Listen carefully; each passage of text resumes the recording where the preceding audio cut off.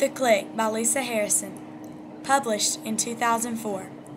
The genre of this book is realistic fiction.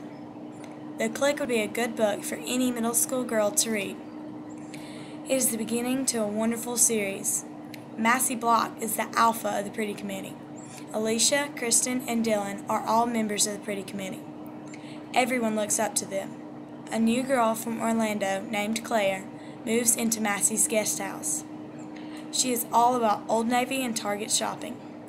Massie's mother insists on them being friends. Will the Pretty Committee accept her?